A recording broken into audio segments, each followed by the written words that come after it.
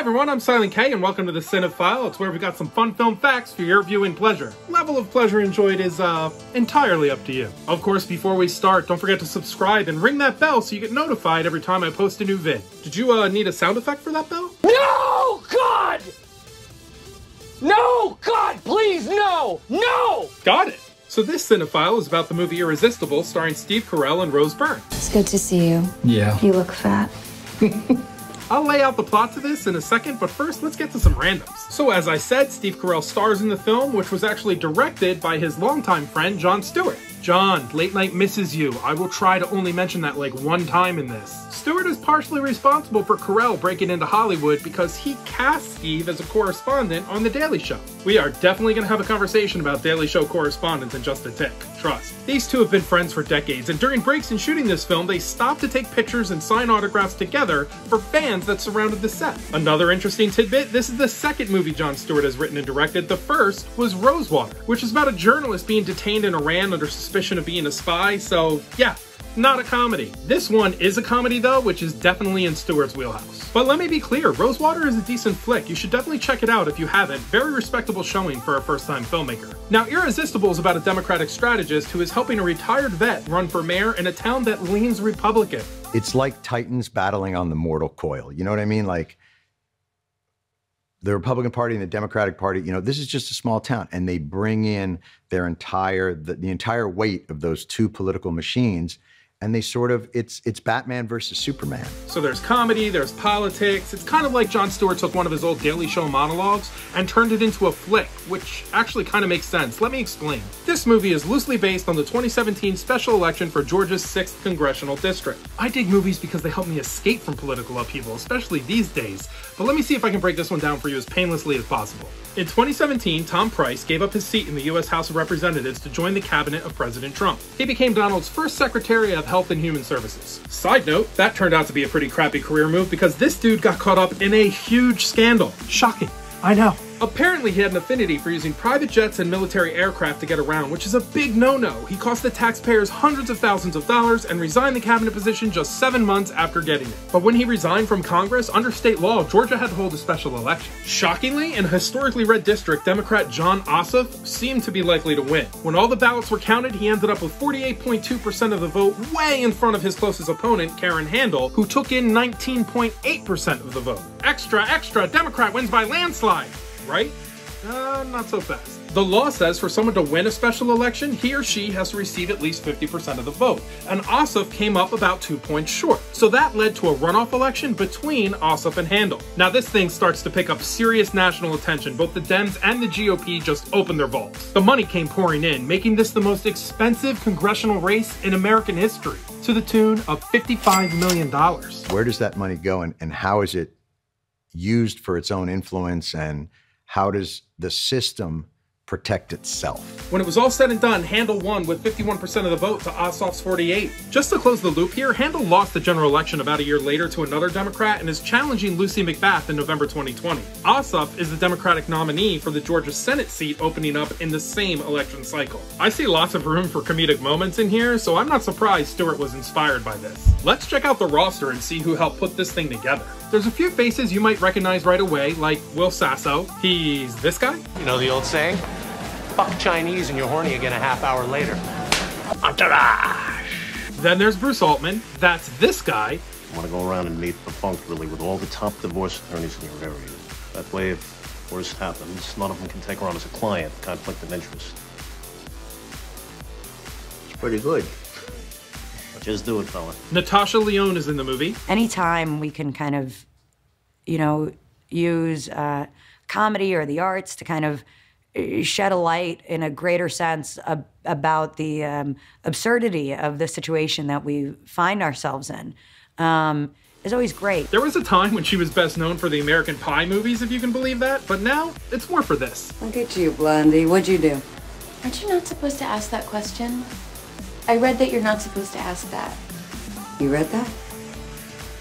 Are you studied for prison? Also, if you haven't watched her in Russian Doll on Netflix, you are seriously missing out. That show is original, funny, and freaking dark, man. Big Silent K Reco on that one. Next up is Topher Grace. This is an easy movie to sign on to. I I mean, I, I don't know if I was the biggest fan of The Daily Show, but I challenge anyone to to say they watched more episodes or or loved it more than I did. You mostly know him from that 70s show or possibly this scene from Ocean's 11. Me, I'm not talking about fellas, fellas. All Okay. reds. yeah. What up, dog? All reds. I told you. You know it. Or maybe this temper tantrum in Ocean's 12. Jesus Christ, are you people retarded? It says do not disturb. It's me.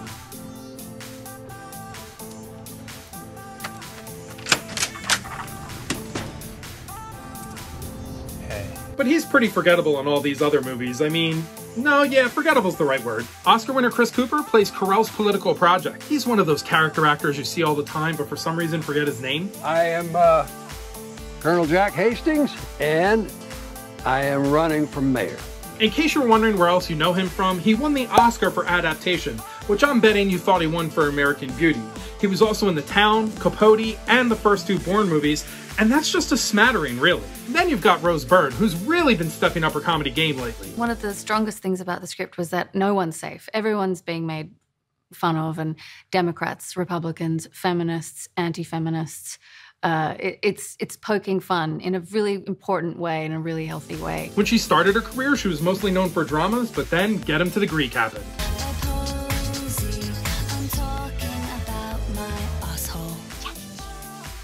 And the comedy stuff took off. Since then, she's been in Bridesmaids, Spy, Neighbors, Neighbors 2, Instant Family, Like a Boss, and now this. Her and Carell seem like a pretty good fit. What is your problem, What's Faith? your problem? Seriously, that's just like you just start inventing things.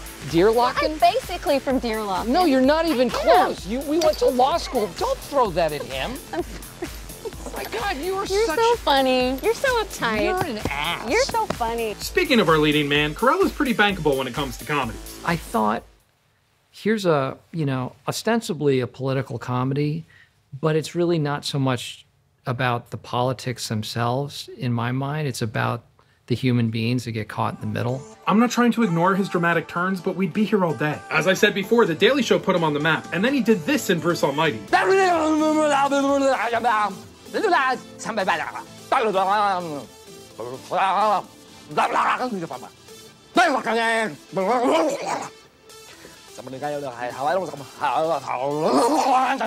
That's all it took. Then he was Brick in Anchorman. I love Desk. Brick, are you just looking at things in the office and saying that you love them? I love Lamp. Do you really love the lamp, or are you just saying it because you saw it? I love Lamp. Then he landed The Office, which put him in millions of homes across the country. Abraham Lincoln once said that if you're a racist, I will attack you with the North. And those are the principles. Damn it. Okay, sorry. Michael Scott earned him a Golden Globe, too, by the way. That same year, he starred in his first film lead role as the 40 year old virgin. Sweetie pie hole. ¿Cómo se llama? No, Kelly Clarkson. Little side piece for you here the woman waxing him in this scene lied to the casting director to get the role, so when you see her fighting back laughter, it's for real, because she didn't know what she was doing. Gotta fake it till you make it, right? After that, Carell was officially a household name. Other comedies include Evan Almighty, Get Smart, Date Night, Despicable Me, Dinner for Schmucks, The Incredible Burt Wonderstone, Despicable Me Again, Anchorman Again, Minions, and then the other Despicable Me. I know, there's a lot of dramas in that time frame, so sue me. I will mention Foxcatcher though, because that did get him his only Oscar nomination. So it's pretty clear Steve has the comedy chops to lead this crew in front of the camera, and Stewart is no funny man slouch behind it. He had a brief run as an actor in bit parts like this. But uh, I am real glad you're all here tonight because I'm about to do something that I never thought I'd have the guts to do. Um, You're not proposing, are you? uh, yeah, pal, I am. Well, think about it, you know? God, Sonny, shut up! Anyway, uh, will you? Yeah. But he really made his mark by turning The Daily Show into a must watch for 16 years. If you only know The Daily Show with Trevor Noah as the host, you have no idea what you missed out on. The insanely popular political satire and commentary we see today, Jon Stewart was the grandpappy of them all. Colbert's monologues, Meyers' closer looks, Bee's rants, Oliver's entire show, they all came from the way Jon Stewart told the news. To that end, three of the four people I just named got their start on his Daily Show, as well as a who's who of people making you laugh today. So let's dive into what a difference Jon Stewart has made to the comedy landscape by giving insanely funny people a voice. And apparently, he's a total mensch, which makes me love this list even more. I said Samantha Bee? Yup, she was a correspondent. Have you had your picture taken with a black person yet? Well, I don't think so, but I wouldn't mind doing it. That's something you'd be willing to try? Why, certainly. There's plenty of them. I know. Do you have any of them in Montana? We don't, you know? We don't have any. Uh, in fact, uh, I guess our kids were pretty old before they saw one. Remember that him being a mensch part I mentioned just a few seconds ago? Check out this clip from Samantha's last time on his show.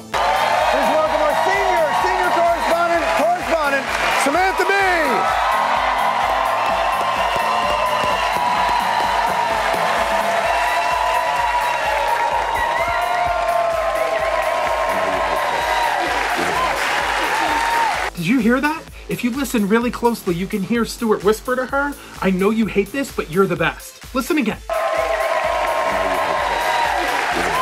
I'm not crying, you're crying. Dan Bakkedahl was on Stewart's Daily Show, but you'll probably remember him most from being that foul-mouthed senator on Veep. Oh, look what we have here. Not only Ginger Rogers, but also Ginger Rogers. nice joke construction, sir. Stop trying to polish my dick, you fucking four-eyed failure. Okay. There's Rob Riggle, you've seen him in everything. Gentlemen, we've got some good news and we've got some bad news. The good news is we found your Mercedes. That's great news. That's great. Yeah, it's over at impound right now. We picked it up at uh, 5 a.m. this morning, parked in the middle of Las Vegas Boulevard. Then there's the brothers Cordry, which I'm betting you didn't even know they were brothers. Let's start with Nate. Hi, fella.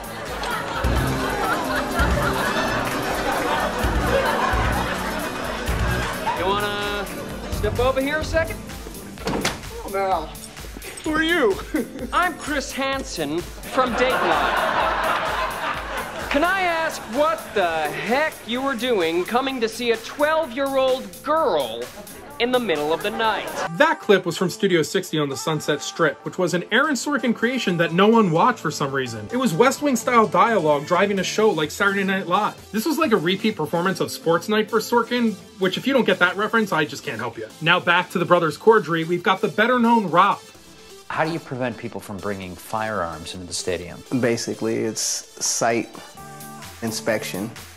Yeah, well, what about these guns? He's obviously skyrocketed since The Daily Show with roles in Hot Tub Time Machine, Ballers, and Children's Hospital, which he created. I gave myself a really crappy job to do. This, like, I don't uh, know. He's kind of the straight man, and I've got to wear this god awful makeup every day.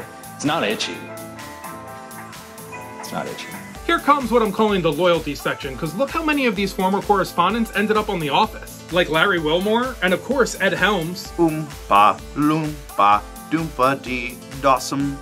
Dwight is now gone, which is totally awesome. Then there's Nancy Walls, who you can see here with Steve Carell in the early days of The Daily Show. Well, that's all the time we've got. I'm Steve Carell. And I'm Nancy Walls. Until next time, you'll see us hoping to see celebrities. Good night. And she was in The 40 Year Old Virgin. I think some of the people here might be sexually inexperienced.